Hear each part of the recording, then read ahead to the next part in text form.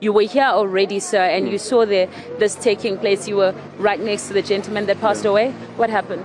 Uh, we just saw him falling down because he was number 420 or 418 or so, because I'm, I'm 425. So we thought he, he fainted or so, but unfortunately, obviously, he died at the spot. Because it happened at around past four, if I'm not mistaken, because I arrived here at quarter to four or 10 to four, if I'm not mistaken. So yeah, just after 20 minutes after I arrived here, he just collapsed. And did, the, did they take him? What happened? Come again? What, what happened after that? No, we waited for the ambulance. Obviously, everyone waited for the ambulance. Everyone, the anxiety played its part, especially on the elders, because they're old women and men here, way, way, way above 70. So can you imagine the anxiety on them after this thing? We've been told that this is not the first, today wasn't the first day that they've been coming here, that they've been here since Tuesday. This morning they were here around 6 or 7 o'clock, and then not too long ago, maybe uh, 15, 20 minutes ago, uh, she did collapse, and they are just trying to help her. We've heard that she is uh, diabetic as well, and we are maybe just going to usisi nifike ni nize nini la namhlanje sifike ngo-six ekuseni yo mina ngifuna ukubona no problem. Mama nelise re ka bua le lona so le tsebo ba fitlhile ba fitlhile neng go etsagetseng re fitlhile ka six oseng ebilane re fitlhile tuesday and then ntse re tla jalo ntse re jibiswa mo lineng ya kata kere ee jalo etsagetseng ka osi re bone fela a sa wa. Go tsho gore ke ntho ke le motšheso gore le tswekere. Ee le o ema nako e telele. Ee a ntse a eme mo o nne a ntse a dutse. Ke bona setulo se. Ee o ne ntse a dutsa. Ke go dula wa dula o boye o kgathale o eme jalo jalo and-e go tloa tuesday and-e maobane o ne o tšhesa gagolo ka shoko betere. Maobane o ne o tšhesa gagolo gagolo and-e re gotlile mo na lineng gape ee ke bone ka go sa bakelelwa le ke motšheso wa matsatsi a fetseng.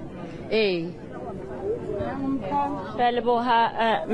uh, so uh, generally we just they are trying just to get assistance from her. Emergency services have been called. We were able to call emergency services and uh, we are hoping not just us but other people that are here as well so hoping to get some assistance. Uh, but this is part of the issue some of the issues that had been raised over the past few days about the heat uh, and about the effect that this would have on uh, people. We had been told by Uzota who has come with the lady that she is diabetic.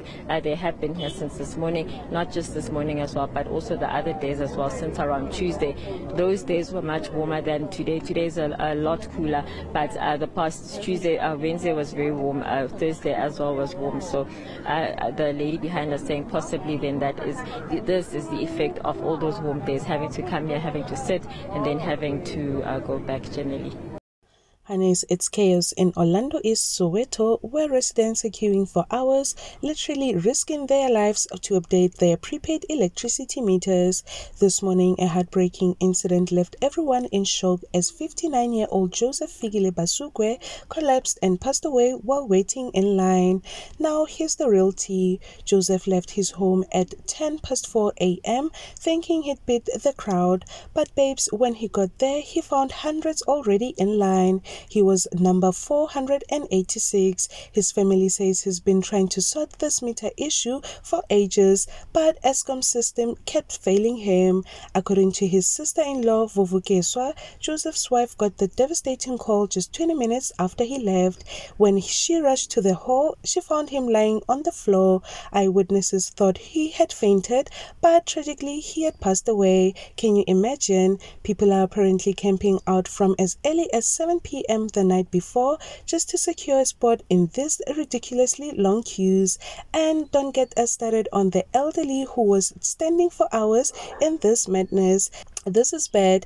If Eskom system was working properly, we wouldn't be here. Fumed and frustrated residents. Shem, the struggle is real out here. Meanwhile, Minister of Electricity Kgosientsho Ramokgopa is not budging on the deadline which is set for November 24, 2024. In his own words, it's a technical issue and come Monday the 25th. If your meter isn't upgraded, you're on your own. He said Eskom has pop-up sites and teams working overtime, but clearly it's not enough. The drama doesn't end there. To check if your meter is upgraded, enter 1844 6744 0738 4377 2416 on your keypad. That's 1844 6744 0738 4377 2416 on your keypad. If it shows 2, 2.2 or R2, T2, then you're good. If it shows 1 or 1.2, babes, you're in trouble. The situation is beyond stressful and now it's literally costing lives. Eskom Fiximus and Minister Ramokgopa, we are really just supposed to deal with this chaos. Let us know your thoughts in the comments, fam. Is this deadline unfair or are people waiting till the last minute?